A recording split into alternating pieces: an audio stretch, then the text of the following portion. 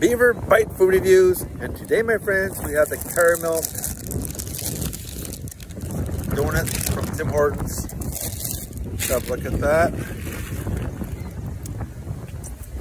You got your caramel drizzling on top. You got your chocolate. And I think these are little pieces of chocolate bar on top there. A little shot of coffee first.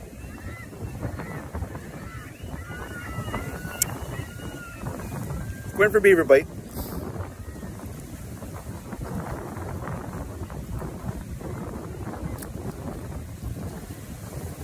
Interesting. The caramel inside, it tastes like the chocolate bar. With the chocolate on top, pretty darn good. One more beaver bite.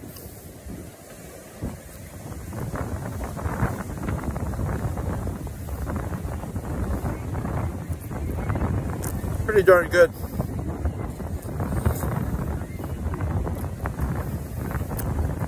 Beaver Bite Food Reviews, 8.5 out of 10. Thanks for watching. Have a great day. Enjoy the beautiful lake.